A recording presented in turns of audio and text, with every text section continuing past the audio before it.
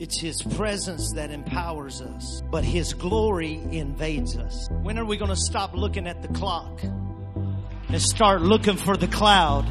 The Father hasn't come to number us. You hear this? He's come to weigh us. How much glory do you carry?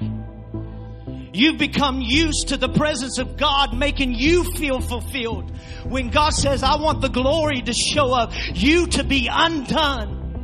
This next wave in the church is not Listen to me. It is not going to be based off of how many people are in a building.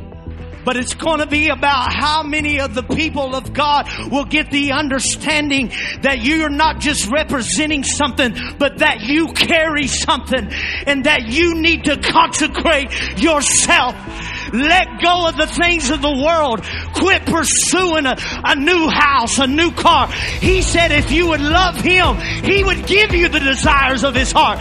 Seek first the kingdom of God and all of these things